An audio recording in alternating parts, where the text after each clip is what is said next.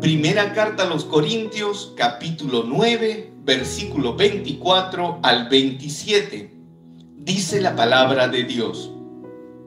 No saben que en las carreras del estadio todos corren, pero solamente uno consigue el premio. Corran de tal manera que lo logren. Los atletas se abstienen de todo con el fin de obtener una corona corruptible, mientras que nosotros aspiramos a una corona incorruptible. Yo pues corro, pero no sin rumbo. Lucho no como quien da golpes al aire, sino que disciplino mi cuerpo y lo domino, no sea que después de enseñar a los demás, quede yo descalificado. San Pablo le escribe a la comunidad de Corinto. La comunidad de Corinto tenía una particularidad. Estaba en una península, era, había mucho comercio, era un puerto y había un detalle. Allí se daban muchos juegos, había muchos juegos y esto era muy común era un lugar muy deportivo y esa era la atracción junto con el comercio que había allí. Entonces, eh, San Pablo les hace ver a los corintios que les gustaba tanto el deporte, que iban al estadio a ver correr a los atletas, a todas las disciplinas, y ellos veían que el que ganaba recibía una corona de laurel, una corona que se corrompía. Era solamente recibir el honor, el reconocimiento, el aplauso de toda la gente, de ser mostrado, de haber alcanzado la victoria. Pero recibían una corona que luego se secaba, se marchitaba y tenían que botarla. Solamente era para ese instante. El atleta que ganaba recibía todo el reconocimiento y le duraba ese momento nada más. Qué importante, ¿no? Porque eso es poner en perspectiva eh, toda la vida de los seres humanos. A veces sentimos que estamos tocando el cielo porque alcanzamos un trabajo, porque nos dieron un aumento, porque nos compramos un carro o porque nos compramos nuestro departamento o porque entramos a la universidad pero pasado un tiempo, el trabajo que por fin alcanzamos se vuelve una carga a la universidad, ya estamos locos porque tantos estudios, tantos exámenes y el carro ya comenzó a fallar y hay que cambiarle aceite y gastas de combustible y el departamento, los vecinos de al lado no te dejan en paz. Es decir, que quiero decirte con esto, no quiero desanimarte, pero es que muchos de los logros materiales, triunfos que podemos tener en la vida son efímeros. Hay que ponerlo en esa perspectiva. Hoy yo me puedo comprar lo último de lo último, lo último, pero un artefacto, un celular, un auto, no sé, yo puedo vestirme con lo más caro, lo más fino, lo último de lo último, pero eh, tarde o temprano eso se va a gastar, se va a deteriorar, va a envejecer y ya no va a servir y ya no va a ser lo último de lo último. Y así creo que tendríamos que ver la vida. Hay cosas que son importantes, que nos han costado nuestro esfuerzo, nuestro trabajo, ¿no? de muchos años, nuestros sacrificios, y bien lo merecemos disfrutar. Pero tenemos que poner en perspectiva la realidad. Todo eso se acaba. Todo eso es pasajero. Todo eso se desgasta. Y por eso estos atletas recibían el honor, los aplausos en un momento y les daban una corona que se marchitaba, que se secaba y era como decir, mira, este momento ya pasó. Si quieres otra vez continuar con esta corona, recibir, tienes que volver a competir, tienes que volver a ganar a todos los demás atletas. Por eso dice, no saben que en las carreras del estadio todos corren, pero uno solo gana el premio es que no todos pueden recibir el premio, solamente aquel ganador. Esta noche, en este momento, yo te voy a hablar de cómo ganar la verdadera carrera, cómo ser un ganador de verdad, un triunfador, porque Dios nos quiere así, nos quiere con éxito, nos quiere plenos, no nos quiere derrotados, no nos quiere debajo de la mesa, nos quiere, no nos quiere cola, nos quiere cabeza. Dice, corran de tal manera que lo logren. Y ahora le está hablando ya Pablo a los corintios, pero ya no de deporte físico, sino les está hablando de categorías espirituales. Corran, corran, háganlo, pero de tal manera tienen que correr que tienen que ganar. Eso le está diciendo Pablo. Tienes que ganar. Acá no hay segundo, tercer, cuarto, quinto puesto. Tienes que ganar la verdadera carrera. La verdadera carrera es la que tienes que ganar. Dice, los atletas se abstienen de todo con el fin de obtener una corona corruptible. Claro, si alguien quiere ser un verdadero atleta, tiene que sacrificarse, levantarse muy temprano, tiene que entrenar, tiene que fortalecer sus músculos, tiene que tener una dieta balanceada, no puede darse licencia de alcohol, de comer grasas, de dormir mal, de parrandear. No, si quieres ganar, si quieres clasificar, si quieres ir a un mundial, si quieres ir a las Olimpiadas, si quieres ganar una medalla, una copa, tienes que entrenar, tienes que abstenerte, tienes que poner de tu parte las verdaderas eh, logros, las cosas que realmente son valiosas, no vienen así de la nada. Yo les quiero decir que mientras, sobre todo a los jóvenes, los jóvenes quisieran ellos, ¿no? Sueñan con tener un golpe de suerte porque han visto de repente, han leído una revista o han visto un documental o han visto un video de aquel youtuber que de pronto se hizo famoso haciendo una tontería, transmitiendo en TikTok o en YouTube y en Facebook y tiene millones de reproducciones o sueñan, alucinan con que van a tener una carrera brillante y llena de lujos, los ricos y famosos, pero realmente las cosas no pasan así. Todo eso es marketing. Si tú quieres de verdad disfrutar de la vida, quieres triunfar en la vida, si quieres tener prosperidad, te vas a tener que sacrificar. Vas a tener que poner de tu parte, vas a tener que levantarte temprano, vas a tener que estudiar, quemar pestañas, vas a tener que dedicarte, vas a tener que ser muy disciplinada, disciplinado. ¿De qué valdría que por fin logres el trabajo de tus sueños y después te emborrachas el fin de semana y después llegas, eh, ya no eres tan productiva, tan productivo en tu trabajo, rindes mal, te van a despedir. ¿De qué vale que ingreses a la universidad si después no vas a las clases, te quedas con tus amigos tomando café o qué sé yo, yéndote al billar y no vas a ser un excelente profesional, vas a ser uno más, no vas a destacar, no vas a brillar. Si realmente queremos cosas en la vida, vamos a tener que esforzarnos, sacrificarnos. Una palabra que no le gusta mucho en la actualidad, en este siglo XXI, que todo es comodidad, todo es confort. No les gusta que se pronuncie la palabra sacrificio, pero yo les digo, no hay otra fórmula, no hay otra fórmula. Hay que sacrificarse. Y en el campo de la fe también, también.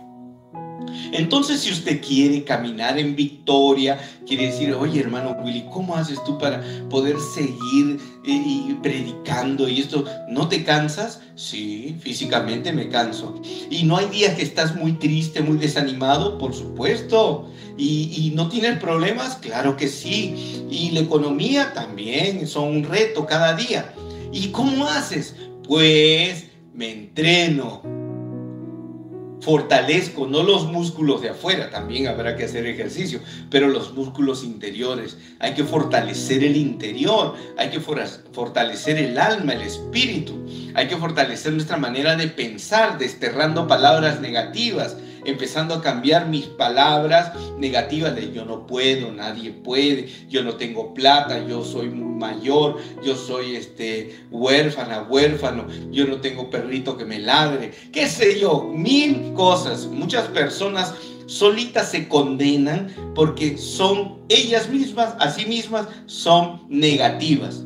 Hago un ejercicio, un día nada más, un día, no, no le pido más que un día haga el esfuerzo de omitir, de suprimir toda palabra negativa. No, es que yo, a veces nos hacen un cumplido, ¿no? Te dicen, oye, qué lindo, qué lindo te queda ese vestido, qué lindo que estás, qué linda que estás. No, no, no, mi hermana es más guapa que yo. ¡Wow! Se te ve muy joven, qué bien se te ve. No, pero me duele, tuvieras, tengo esto, tengo lo otro. ¿No te has dado cuenta que a veces te quieren felicitar, te quieren eh, decir cosas bonitas y tú mismo dices, no, es que no, oye, se ve que tú eres bien inteligente. No, en realidad no lo soy. Eso no es humildad. Eso usted está proclamando palabras negativas y eso lo tiene que desterrar. Entonces, se tiene que entrenar, se tiene que entrenar, tiene que sacrificarse y su vida de oración. ¿Cómo puedo fortalecer mi interior? Así como otros toman los, las pesas y sacan bíceps, tríceps, cuadríceps y se ponen así, ¿no? Algunos hacen trampa y se inyectan cosas para hincharse, bueno, ya. Pero digo, también el espíritu, también tu vida espiritual se tiene que fortalecer. ¿Cómo? pues la oración diaria. Que no haya un día sin orar. No dejes un día sin orar, aunque no tengas ganas. Y cuando no tengo ganas, ¿sabes cómo hago yo? Agarro un librito de oraciones. O tomo mi Biblia y busco los salmos. Y comienzo a, leer los salmos. Y los salmos son oración. Entonces comienzo sin darme cuenta a orar. O tomo mi rosario y comienzo, ¿no? Saco mi rosario y también, esto es lo que más hago yo, saco mi rosario y comienzo. No tengo ganas, ¿ah? Estoy cansado, estoy preocupado. Dios te salve María, llena eres de gracia. Y empiezo, y empiezo, y empiezo. Y así estoy. Porque tenemos que entrenarnos, tenemos que fortalecernos tenemos que ser fuertes en la fe. Entonces, no haya ni un solo día sin que usted ore. Tiene que orar cada día. Orar todos los días sin fallar. Todos los días tiene que orar. Y que no acabe el día sin que por lo menos haya leído un versículo de la Biblia. Aunque sea uno, ojalá más. Lea la Biblia, todos los días. Lea los evangelios, empiece por el Nuevo Testamento, pero todos los días. ¿De qué valdría? Usted quiere adelgazar, ay sí, porque mira ya, este, no, voy a, quiero verme bien, ya no me entra mi, mi ropa de, del verano pasado, ya no me entra. Entonces, ropa nueva se me ha quedado, no me queda. Muy bien, voy a, voy a hacer dieta, dicen algunos. Voy a hacer dieta. Mañana lechuga, mañana un pan así, este, integral. Mañana un vaso de agua. Mañana ayuno, mañana yo voy a hacer dieta. Y al día siguiente chicharrones, pollo a la brasa. Entonces, ¿De qué vale hacer dieta un día si eh, quieres adelgazar? No lo vas a lograr. Tienes que tener disciplina y tiene que ser todos los días, todo, gradualmente, progresivamente, pero todos los días. Si no, no va a haber resultados. Eh, lo mismo sucede con la vida espiritual. Todos los días tengo que leer la palabra de Dios. Si solamente leo la palabra de Dios una vez, cada vez que el hermano Willy me dice, cada vez que el predicador me dice, lee la Biblia, ay, sí, mañana la leo. Y después hasta el próximo mes, no, pues tiene que ser todos los días. Estamos hablando de un atleta en la fe, un hombre, una mujer de oración. Miren lo que dice, qué bonito lo que dice. Los atletas se abstienen de todo con el fin de obtener una corona corruptible, mientras que nosotros, está hablando Pablo a los corintios, a los cristianos de Corinto, mientras que nosotros aspiramos a una corona incorruptible. Ah, les decía que a estos atletas le daban una corona que se les secaba, se les marchitaba y después la tenían que tirar. Pero Dios, la corona que nos va a dar, es eterna. Yo puedo tener un celular nuevo, de última generación, y dentro de tres meses ya no es nuevo. Yo puedo tener el carro del año dentro de unos meses ya no lo es. Yo puedo tener ropa nueva y dentro de un tiempo ya pasó de moda. Y así, pero la corona que Dios nos ofrece es una corona que no se corrompe, que es eterna. ¿No te parece hermoso eso? Dice Pablo, yo pues corro, pero no sin rumbo. Qué buena frase de San Pablo. San Pablo dice, mira, yo estoy corriendo así, estoy, estoy en la carrera. Yo quiero, la meta es el cielo. Yo también corro, pero no sin rumbo, no por aquí, no por allá, a ver, dónde, no. Dicho en otras palabras, San Pablo tiene muy clara la meta. Él tiene muy claro hacia dónde tiene que llegar. Salió de Dios y corre hacia los brazos de Dios. Y tú y yo también. Nosotros corremos a los brazos de Dios. Nosotros vamos en dirección a Dios. No vamos por aquí, no vamos por allá. El dinero, el poder, la fama. No. Esos son distractores.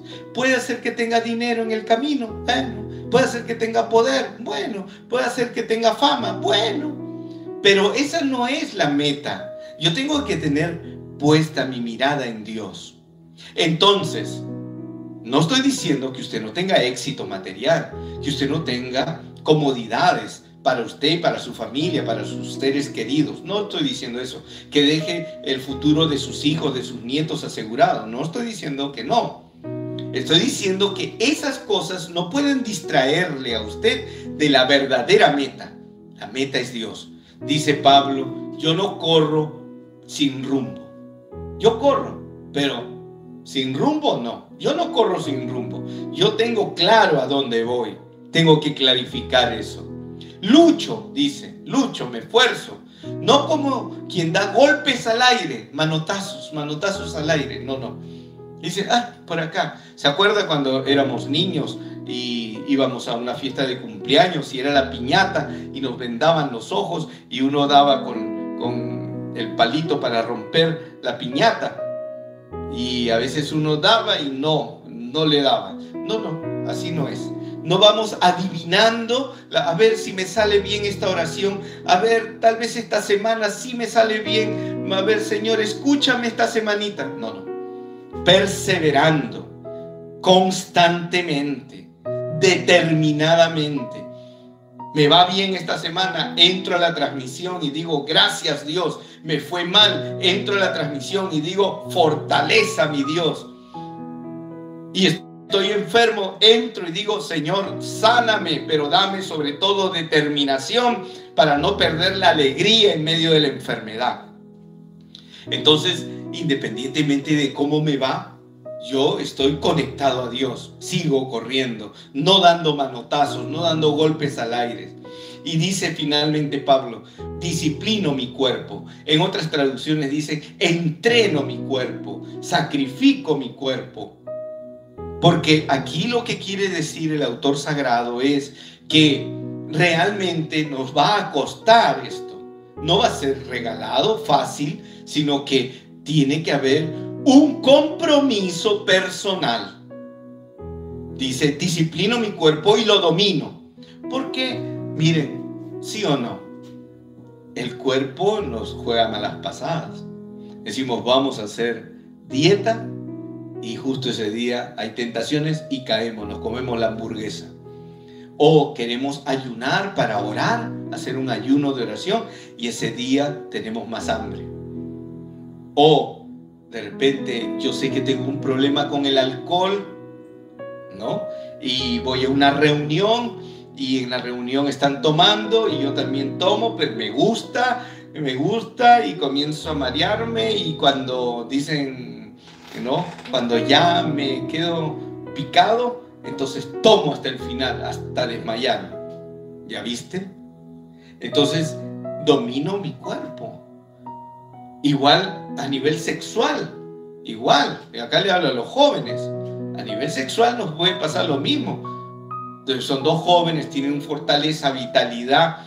Entonces, dos enamorados están solos, no hay nadie que los cuide, nadie está allí cerca. Ya pues, van a caer en tentación.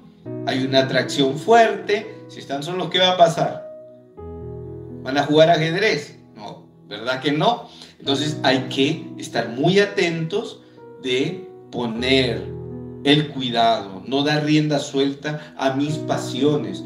Porque si yo doy rienda suelta a mis pasiones, me voy a embriagar, voy a eh, caer en pecado, puedo serle infiel a mi pareja, puedo tener relaciones antes de casarme y entonces todo eso, en lugar de recibir bendición, ¿qué es? Pierdo la bendición.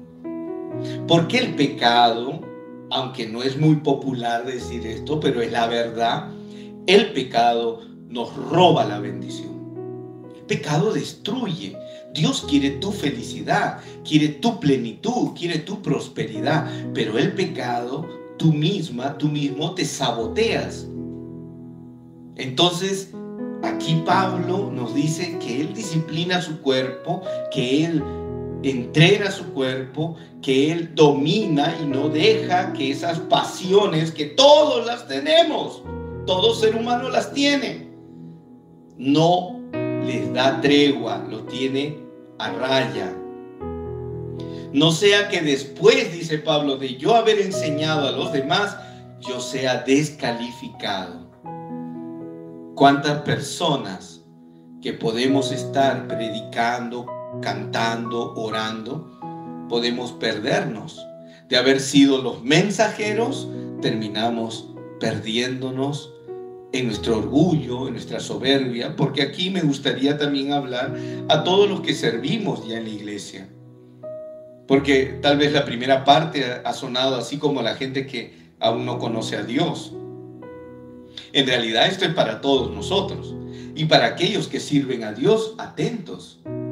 No vaya a ser que nuestro orgullo, nuestra soberbia, eh, nos creemos tan espirituales, tan santos, que pensamos que nunca vamos a fallar, que nunca vamos a caer, que yo soy un super apóstol, super predicador, super cantante, super músico, super catequista.